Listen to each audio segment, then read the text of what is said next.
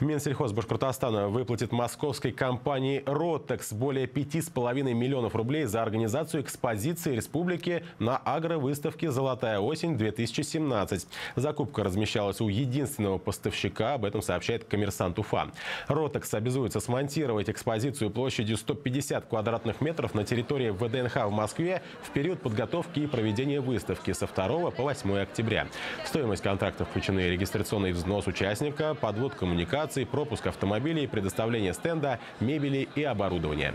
По данным издания «Коммерсант», в текущем году выставочная компания «Ротекс» заключила госконтракты на 24 миллиона рублей с министерствами сельского хозяйства России и Мордовии.